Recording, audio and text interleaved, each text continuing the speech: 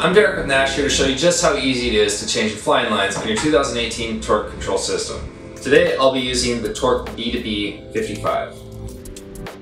First, you'll need to unwrap your lines.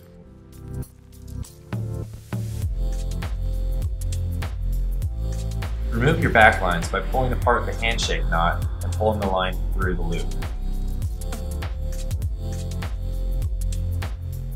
Attach the new flying line by threading the line loop over the pre-line, then feed the flying line back through the loop to make a handshake knot.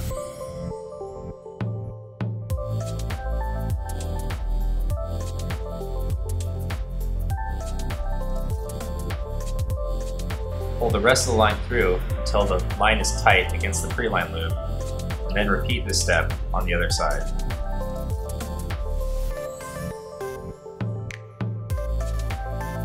Remove the front line not connected to the flagging line by pushing through the line organizer and disconnecting the handshake knot between the line and the little connector.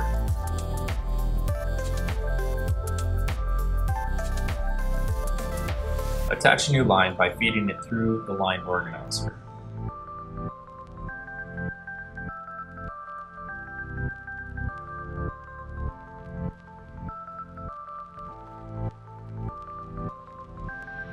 Next, thread the line through the loop of the little connector, and then pull the tab of the little connector back through the loop of the line to tighten.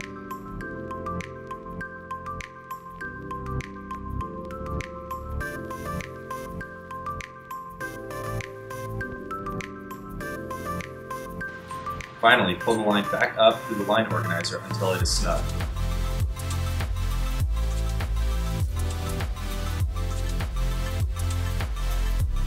To replace your front line attached to the flagging line, start by pulling on your flagging line until the knot is all the way through the torque loop.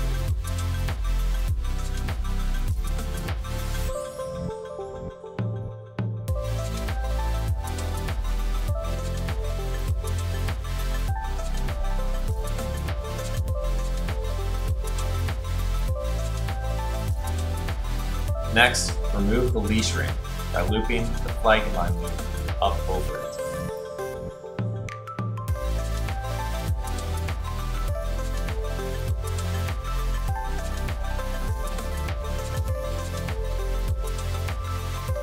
Next, remove the flagging line from the front line by undoing the handshake knot and pulling the flagging line back up through and off the front line.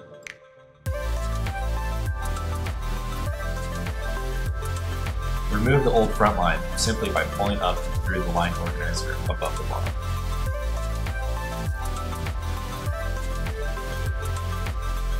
Attach your new front line by feeding the line through the line organizer, through the hole at the middle of the bar, and proceed through the center hole on the torque loop.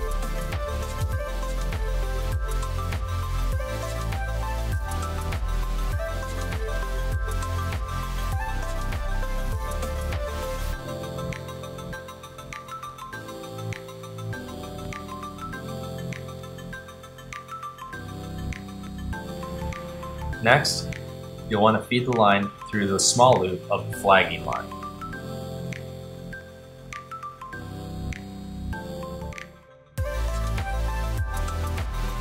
Now, feed the flagging line with the large loop back through the front line loop to make a handshake knot.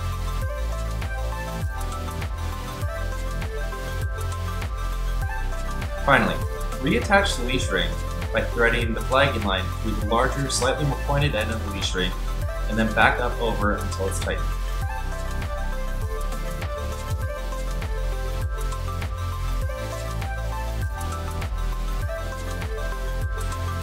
Now, pull your front line back up through the torque loop until it reaches the line organizer.